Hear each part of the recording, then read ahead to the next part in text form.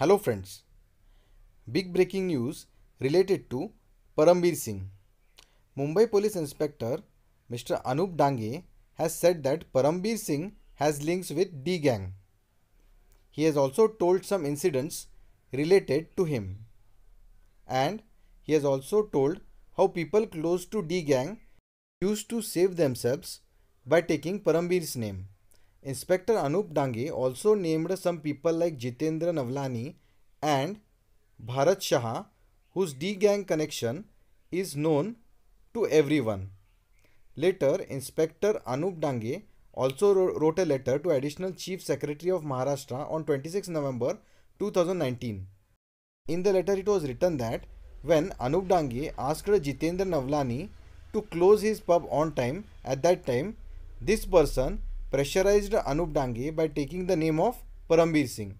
At that time, Parambir Singh was DG in Anti-Corruption Bureau. He again gives another example of same type when he had filed an FIR against grandson of Bharat Shah, Yash Rajiv Bhatia. Anup further says that when Parambir Singh became the commissioner of Mumbai, he first refused to file a charge sheet over it. Then, through some person, he asked for 50 lakh from me or else I was told about punishment posting. Anup further says that later I was suspended and asked for 2 CR for reinstatement.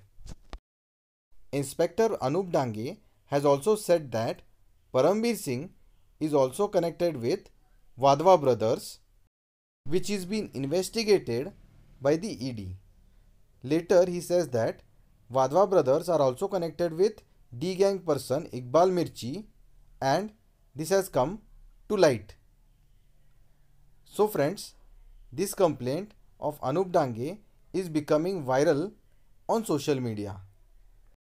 So friends, as soon as I get more information related to this, I shall let you know. Till then, stay connected for more updates. Thank you.